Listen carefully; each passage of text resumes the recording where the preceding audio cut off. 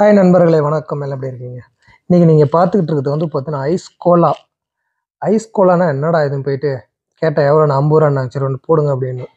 Ice கோலானா ice கட்டியை ஃபுல்லாக என்ன பண்ணுறாங்க உடைச்சிட்டு அதை தூளாக்கி அதை என்ன பண்ணுற கிளாஸில் போட்டு நல்லா வச்சு இறுக்கமாக அழுத்திட்டு அதில் ஒரு ஸ்டிக்கு குச்சி ஒன்று சொருகிட்டு கொடுக்க சொ சொருகிட்டு நல்லா ப்ரெஸ் பண்ணி எடுக்கிறாங்க. அது ப்ரெஸ் பண்ணி எடுத்தீங்கன்னா அப்படியே ஐஸ் கட்டியாக இருக்குது.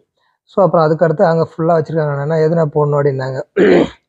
எசன்ஸு ஆரஞ்சு இருக்குது பைனாப்பிள் இருக்குது மேங்கோ இருக்குது அவங்களுக்கு எது வேணும் அப்படின்னாங்க. சரி சொல்லிட்டு ரெண்டு வாங்கினாங்க சரி ஒன்று வந்து மிக்சராக போடுங்க. ஒன்று வந்துட்டு பொண்ணு வந்து ஸ்ட்ராபெரி மட்டும் கேட்டுச்சு. சரி அதில் போடுங்க அப்படின்னு. நல்லா அவர் வச்சு ப்ரெஸ் பண்ணி அடுத்து அடுத்து அழுத்தி எடுத்தாப்புல. அதே கஷ்டப்பட்டு எடுக்கிறாப்புல. நல்லா ஐஸை ப்ரெஸ் பண்ணி எடுத்தாப்புல. கொடுங்க அப்படின்னாப்புல. பொண்ணு ஆசையாக பார்த்துச்சு.